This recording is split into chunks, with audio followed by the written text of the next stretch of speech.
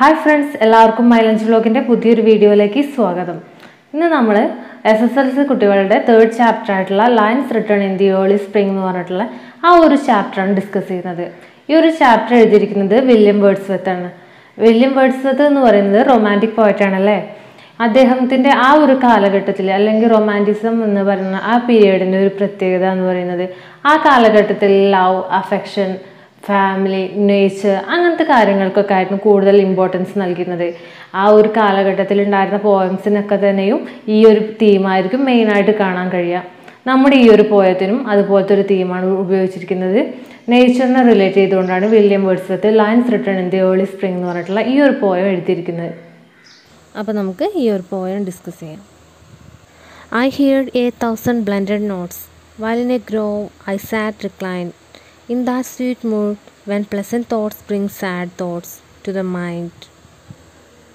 I heard a thousand blended notes.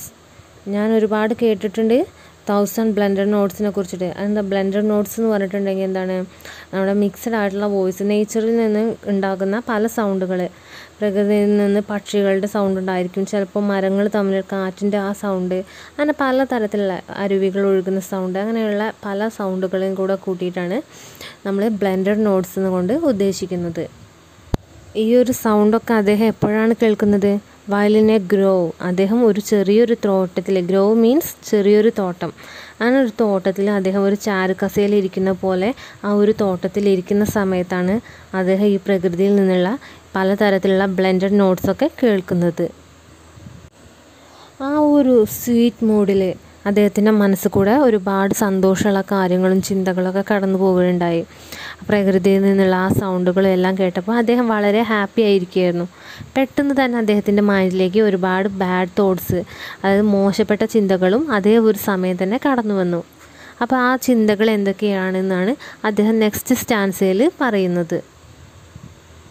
നമ്മുടെ ഈ ഒരു പോയം ശ്രദ്ധിക്കുകയാണെങ്കിൽ ആറ് കോട്രൈൻസ് ആയിട്ടാണ് ഈ പോയം തിരിച്ചിരിക്കുന്നത്. കോട്രൈൻസ് എന്ന് പറഞ്ഞിട്ടുണ്ടെങ്കിൽ എന്താണ്? നാല് വരിയുള്ള പോയത്തിനെ നമ്മൾ കോട്രൈൻസ് എന്ന് പറയും അല്ലേ? ഇതിന് റാം സ്കീം എന്ന് പറയുന്നത് എ ബി എ ബി ഈ എ ബി എ ബി എന്ന് പറയുന്ന റൈം സ്കീം വരാനുള്ള കാരണം നമ്മുടെ ഈ ഫസ്റ്റ് ഒരു സ്റ്റാൻസ് എടുത്ത് നോക്കുകയാണെങ്കിൽ ആ പോയത്തിന്റെ ലാസ്റ്റ് ലൈനൊക്കെ എൻഡ് ചെയ്യുന്നത് സെയിം ആയിട്ടാണ്. നമ്മുടെ നോട്ട്സ് തോട്ട്സ് ആ ഫസ്റ്റത്തെയും തേർഡ് ലൈനും കൂടെ എൻഡ് ചെയ്യുന്നത് ഏകദേശം ഒരേ പ്രൊനൗൺസിയേഷനിലാണ് അതുപോലെ തന്നെ റിക്ലൈൻ മൈൻഡ് ആ രണ്ട് വേർഡും ഒരുപോലെയാണ്. അപ്പോൾ നമ്മൾ അങ്ങനെയാണ് എ ബി എ ബി എന്ന് കൊടുക്കുന്നത്. ഫസ്റ്റത്തേത് എ രണ്ടാമത്തേത് ബി മൂന്നാമത്തെ തോട്ട്സ് പറയുന്നത് എ വീണ്ടും എ മൈൻഡ് എന്ന് പറയുന്നത് നമ്മൾ ബി വെച്ചിട്ട്. രണ്ട് വരി രണ്ട് വരിയുള്ള പോയംസ് നിങ്ങൾ കണ്ടിട്ടുണ്ടാവും അല്ലേ? അങ്ങനത്തെ പോയംസിനെ നമ്മൾ കപ്ലേറ്റ്സ് എന്ന് പറയും. നാല് ലൈൻ ഉണ്ടെങ്കിൽ കോട്രൈൻസ് എന്ന് പറയും രണ്ട് വരി ഉണ്ടെങ്കിൽ കപ്ലേറ്റ്സ് എന്ന് പറയും. റൈമിംഗ് സ്കീമിനെ കുറിച്ചിട്ട് നമ്മൾ ഒരു പുതിയൊരു വീഡിയോ ചെയ്യാം. ഇനി നമുക്ക് സെക്കൻഡ് സ്റ്റാൻസ് നോക്കാം. To her fair works did nature link the human soul that through me ran and much it grieved my heart to think what man has made of man അതായത് പ്രകൃതിയുടെയും മനുഷ്യന്റെയും ആ ഒരു ആത്മാവിനെ തമ്മിൽ കണക്ട് ചെയ്തിട്ടുണ്ട് link ചെയ്തിട്ടുണ്ട്. അതായത് പ്രകൃതി തന്റെ നിസ്സാർത്ഥവും സുന്ദരവുമായ പ്രവൃത്തിയിലൂടെ തന്നിലൂടെ ഒഴുകുന്ന ആ മനുഷ്യാത്മാവിനെ അതിനോട് ചേർത്ത് വെച്ചിരിക്കുന്നു എന്നാണ് പറയുന്നത്. അതായത് പ്രകൃതിയുടെയും മനുഷ്യന്റെയും ആ ഒരു സോൾ ആത്മാവ് ആ ഒന്നു തന്നെയാണ് എന്ന തിരിച്ചറിവാണ് കവിയുടെ നമുക്ക് നൽകുന്നത്. മറ്റൊരു രീതിയിൽ പറയുകയാണെങ്കിൽ മനുഷ്യനും പ്രകൃതിയും ഒരുമിച്ച് നിൽക്കേണ്ടവരാണ്. എല്ലായ്പ്പോഴും ഒരുമിച്ച് ഉണ്ടാവേണ്ടതാണ്. രണ്ടുപേരുടെയും സോൾ ഒരുപോലെയാണ് എന്നാണ് നമുക്ക് ഈ ഒരു വരിയിലൂടെ മനസ്സിലാക്കാൻ കഴിയുക. മനുഷ്യനും മറ്റു ജീവജാലങ്ങൾക്കും വേണ്ടിയിട്ടുള്ള എല്ലാ സുഖിക്കാനും സന്തോഷിക്കാനുമുള്ള എല്ലാ കാര്യങ്ങളും പ്രകൃതിയിൽ ഒരുക്കിയിട്ടുണ്ട്. പക്ഷേ മനുഷ്യനൊഴികെയുള്ള മറ്റ് ജീവജാലങ്ങളെല്ലാം തന്നെ ആ ഒരു കാര്യത്തിൽ സംതൃപ്തരാണ്. അവരത് ആസ്വദിക്കുന്നുമുണ്ട്. എന്നാലും മനുഷ്യന്റെ ആ ഒരു സ്വാർത്ഥമായ മനസ്സ് കാരണം അവർക്ക് ഒരിക്കലും തന്നെ അത് സംതൃപ്തിയാവുന്നില്ല. എല്ലാ മനുഷ്യനും തന്റെതായിട്ടുള്ള സ്വാർത്ഥ താല്പര്യങ്ങൾക്ക് വേണ്ടിയിട്ട് ആ ഒരു പ്രകൃതിയെ ചൂഷണം ചെയ്യുകയാണ് ചെയ്യുന്നത്. പ്രകൃതിയെ മാത്രമല്ല ചൂഷണം ചെയ്യുന്നത്. ഇതിലുണ്ടാവുന്ന സഹജീവികളോട് എല്ലാം തന്നെ മനുഷ്യന് ക്രൂരമായിട്ടാണ് പെരുമാറുന്നത്. ഇത് ഓർത്തിട്ടാണ് നമ്മുടെ കവി നേരത്തെ കവിയുടെ മനസ്സിൽ ഒരുപാട് സങ്കടങ്ങൾ കടന്നു വരുന്നത്. ഇപ്പോൾ നമുക്ക് നമ്മുടെ ഒരു ചുറ്റുപാട് എടുത്ത് നോക്കുകയാണെങ്കിൽ തന്നെ നമ്മളിപ്പോൾ ഒരു മരം മുറിച്ചു എന്ന് കരുതുക.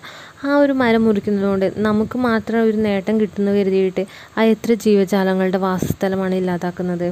അപ്പോൾ ആ ഒരു മരം മുറിച്ചിട്ട് ചിലപ്പോൾ നമുക്ക് വേറെ എന്തെങ്കിലും ആവശ്യം ഉണ്ടായിരിക്കും പക്ഷേ ആ ഒരു മരത്തിൽ താമസിക്കുന്ന അല്ലെങ്കിൽ ആ ഒരു മരത്തിനെ ആശ്രയിച്ച് കഴിയുന്ന ഒരുപാട് ജീവജാലങ്ങൾ നമ്മുടെ ചുറ്റും ഉണ്ടായിരിക്കും. പക്ഷെ നമ്മൾ അവരുടെ വിഷമങ്ങളോ അവരുടെ കാര്യങ്ങളോ ഒന്നും ശ്രദ്ധിക്കുന്നില്ല. നമ്മൾ നമ്മുടെ സ്വാർത്ഥ താല്പര്യങ്ങൾക്ക് മാത്രമാണ് കൂടുതൽ ഇമ്പോർട്ടൻസ് നൽകുന്നത്. അപ്പോൾ ഇവിടെ കവി പറയാൻ ഉദ്ദേശിക്കുന്നതും അത് തന്നെയാണ്. Through primrose stars in that green bower, the periwinkle trailed it breathes, and this my faith that every flower enjoys the air it breathes. ഈ ഒരു ലൈൻസിൽ നമ്മുടെ പോയിട്ട് കമ്പയർ ചെയ്യുന്നത് പെരിവിങ്കിൾ പുഷ്പത്തിനെയും അതുപോലെ തന്നെ പ്രിംറോസിനെയും കുറിച്ചിട്ടാണ്. ഈ ഒരു രണ്ട് പൂക്കളെന്ന് പറയുന്നത് ഒരേ വള്ളിക്കുടിലിൽ വളരുന്ന രണ്ട് വ്യത്യസ്ത തരം പൂക്കളാണ്. ഇവയുടെ തണ്ടുകളെല്ലാം വ്യത്യസ്തമാണെങ്കിലും വളരുന്നത് കാണുമ്പോൾ നമുക്ക് ഒരേ തണ്ടിൽ നിന്നുണ്ടായിട്ടുള്ള രണ്ട് പൂക്കളാണ് എന്ന് തോന്നുള്ളൂ. അപ്പോൾ നമ്മുടെ പ്രകൃതിയും പ്രകൃതിയിലുള്ള മറ്റു ജീവജാലങ്ങളും ഒരുപോലെ ഒരു കുടക്കീഴിൽ വളരേണ്ടവയാണ് അല്ലെങ്കിൽ ഒരു കുട കുടക്കീഴിൽ നിൽക്കേണ്ടവയാണ് എന്നാണ് കവി സമർത്ഥിക്കുന്നത്. ഇവിടെ കവി പറയുന്നുണ്ട് എല്ലാ പൂക്കളും തന്നെ അവ എന്താ അവ ശ്വസിക്കുന്ന ആ ഒരു എയർ എൻജോയ് ചെയ്യുന്നുണ്ടെന്ന്. അതായത് അവ നിലനിൽക്കുന്ന ആ ഒരു സ്ഥലത്തുള്ള ആ ഒരു വായു അവയെ അവയെ സന്തോഷിപ്പിക്കുന്നുണ്ട്. അവരവിടെ ഹാപ്പിയാണ്. ആ ഒരു സ്ഥലവുമായിട്ട് അവർ വളരെ എൻജോയബിൾ ആയിട്ടാണ് ഓരോ പുഷ്പങ്ങളും നിലനിൽക്കുന്നത് എന്നാണ് കവിയുടെ പറയുന്നത്. ഈ ഒരു ലൈൻസിലൂടെ പ്രകൃതിയിലുള്ള എല്ലാ ജീവജാലങ്ങളും അതുപോലെ തന്നെ നമ്മുടെ പ്രകൃതിയും തമ്മിലുള്ള ആ ഒരു കളങ്കമില്ലാത്ത സ്നേഹത്തെയാണ് ഇവിടെ എടുത്തു കാണിക്കുന്നത്. The birds around me hopped and played. Their thoughts I cannot measure, but the least motion which they made, it seemed a thrill of pleasure. എനിക്ക് ചുറ്റുമുള്ള എല്ലാ പക്ഷികളും ജീവജാലങ്ങളും തന്നെ വളരെ സന്തോഷത്തിലാണ് പുതിയ പുതിയ പ്രതീക്ഷകളിലൂടെ കളിച്ചു നടക്കുകയാണ് ചെയ്യുന്നത്. അവരുടെ ആ ചിന്തകളെ എനിക്കൊരിക്കലും അളക്കാൻ കഴിയില്ല. അവരുടെ ആ ഒരു ചിന്തകൾ തോട്ട്സൊന്നും എനിക്കൊരിക്കലും മെഷർ ചെയ്യാൻ കഴിയില്ല എന്നാണ് കവി പറയുന്നത്. അവ അതിന്റെ ചെറിയ ചലനങ്ങളിൽ ഒരുപാട് സന്തോഷം കണ്ടെത്തുന്നുണ്ട്. എന്നാൽ മനുഷ്യനാകട്ടെ മനുഷ്യൻ മനുഷ്യന്റെ സ്വാർത്ഥ താല്പര്യങ്ങൾക്ക് വേണ്ടി മാത്രമാണ് ജീവിക്കുന്നത്. അത്തരം താല്പര്യങ്ങളിൽ മാത്രമാണ് മനുഷ്യന് സന്തോഷം കണ്ടെത്തുന്നതും. ഒരിക്കലും പ്രകൃതിയുമായിട്ട് ഇണങ്ങിച്ചേരാനും മനുഷ്യൻ തയ്യാറാകുന്നില്ല. ഇനി സെക്കൻഡ് ലാസ്റ്റ് സ്റ്റാൻസ് നോക്കാം.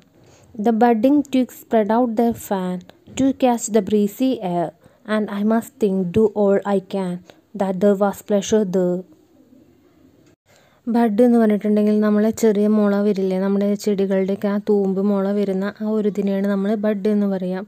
അതുപോലെ ട്വിഗ്സ് പറഞ്ഞിട്ടുണ്ടെങ്കിൽ മരക്കൊമ്പുകൾ ചില്ലകൾ മരക്കൊമ്പ് ചില്ലകൾ ചെറിയ ആ ഒരു ശാഖകളെയാണ് നമ്മൾ ട്വിഗ്സ് എന്ന് പറയാം.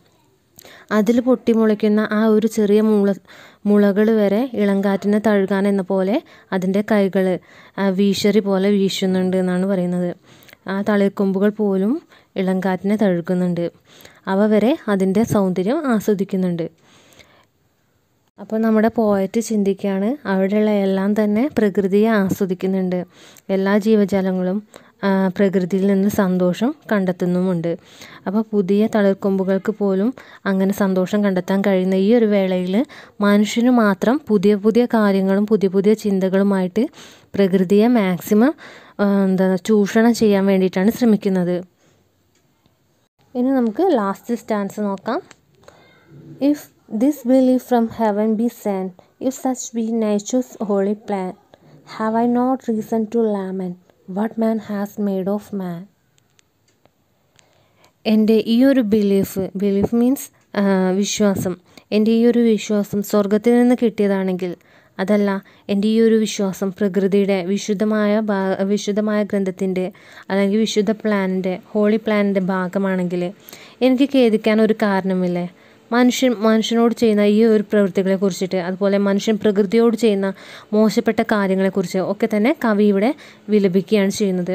കവി കവിയുടെ ആ ഒരു സങ്കടങ്ങളാണ് ഇവിടെ പറയുന്നത്. കവി ആദ്യം ആ ഒരു മരത്തിന്റെ ചുവട്ടിലിരിക്കുന്ന ആ ഒരു സമയത്ത് കവിക്ക് ഒരുപാട് സന്തോഷകരമായിട്ടുള്ള ചുറ്റുമുള്ള പലതരം കിളികളുടെയും അരുവികളുടെയും എല്ലാം സൗന്ദര്യത്തിലും സൗണ്ടുകളിലും കവി ആസ്വദിക്കുകയുണ്ടായിരുന്നു.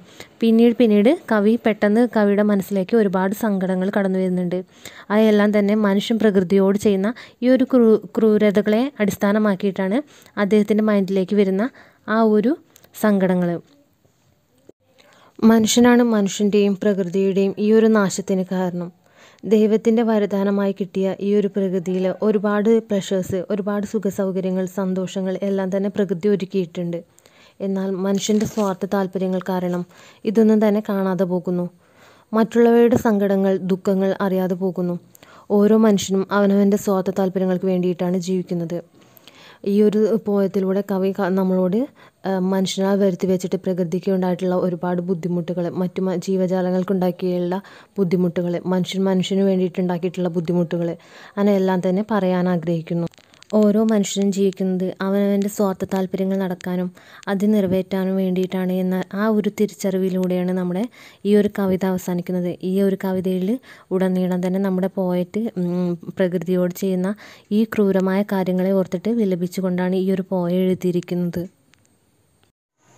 The lines written in the early spring എന്ന് പറഞ്ഞിട്ടുള്ള വില്യം വേർഡ്സ്വത്തിന്റെ ഈ ഒരു പോയം നിങ്ങൾക്ക് എല്ലാവർക്കും മനസ്സിലായി എന്ന് കരുതുന്നു. ഈ ഒരു വീഡിയോ നിങ്ങൾക്ക് യൂസ്ഫുൾ ആയിട്ടുണ്ടെങ്കിൽ ഇഷ്ടപ്പെട്ടിട്ടുണ്ടെങ്കിൽ ഒന്ന് ലൈക്ക് ചെയ്യുക. അതുപോലെ തന്നെ നിങ്ങളുടെ ഫ്രണ്ട്സിനൊക്കെ ഒന്ന് ഷെയർ ചെയ്ത് കൊടുക്കുക. ഈ ചാനൽ ഇതുവരെ സബ്സ്ക്രൈബ് ചെയ്യാത്തവരുണ്ടെങ്കിൽ തീർച്ചയായിട്ടും ഒന്ന് സബ്സ്ക്രൈബ് ചെയ്യുക. കൂടെയുള്ള ബെല്ലൈക്കൺ കൂടി എനേബിൾ ചെയ്ത് കഴിഞ്ഞാൽ ഞാനിടുന്ന പുതിയ വീഡിയോസ് നിങ്ങൾക്ക് നോട്ടിഫിക്കേഷനായിട്ട് ലഭിക്കും. അപ്പോൾ ഇന്നത്തെ ഈ ഒരു ക്ലാസ് നിങ്ങൾക്ക് എല്ലാവർക്കും യൂസ്ഫുൾ ആയെന്ന് കരുതുന്നു. മൈലാഞ്ച് ബ്ലോഗിന്റെ പുതിയൊരു വീഡിയോ ആയിട്ട് വീണ്ടും കാണാം. അതുവരേക്കും ബൈ